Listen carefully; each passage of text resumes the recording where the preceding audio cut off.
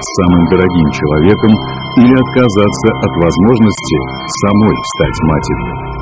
Иринина мама все-таки, она такая достаточно сильная женщина, и все-таки она обладала, мне кажется, таким авторитетом для нее большим. Она прислушивалась к ней всегда, ее мнение для нее было достаточно важным. Естественно, для нее мама была самым важным человеком.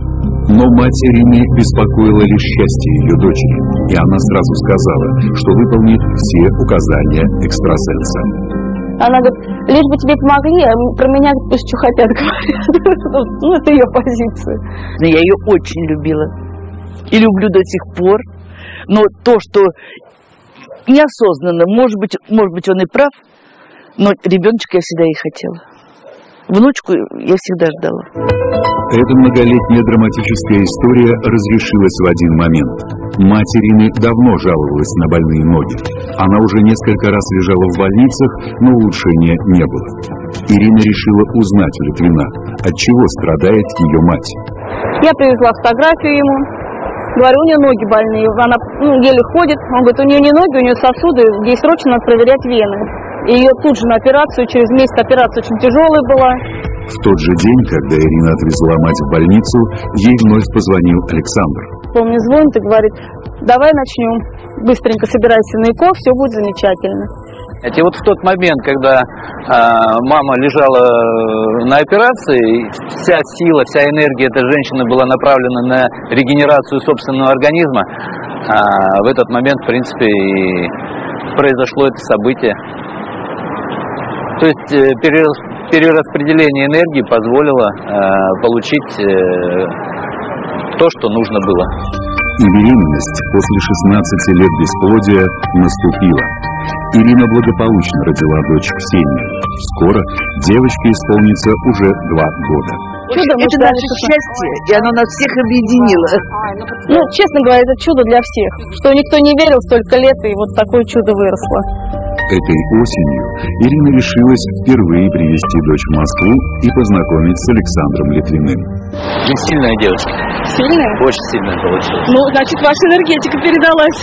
Ну, ты тоже не слабая. Другая бы давно руки опустила. И, кстати, для взаимодействия с бабушкой у нее очень хороший будет симбиоз. Бабушка для нее хороша. Вот в этом случае бабушка будет своей энергией поддерживать эту внучку и подпитывать ее. Кто же такие энергетические вампиры и как уберечься от них? Согласно учению о биоэнергетике, практически каждому из нас доводилось и брать, и отдавать энергию. Принято считать, что только 5% осознанно забирают у ближних жизненные силы.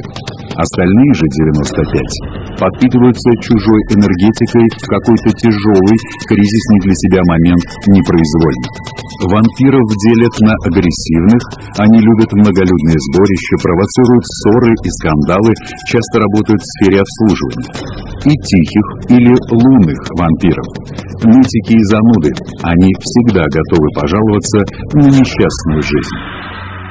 Появился новый человек у вас, вы должны отметить этот факт. И затем вы смотрите изменение ситуации, ухудшается она или улучшается. Это может происходить э, достаточно э, на таком легком бытовом уровне.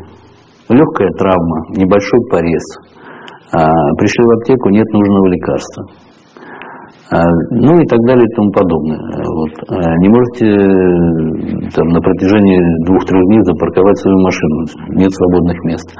А, нужно подумать, с чем это связано. Не исключено, что так воздействует энергетика этого человека.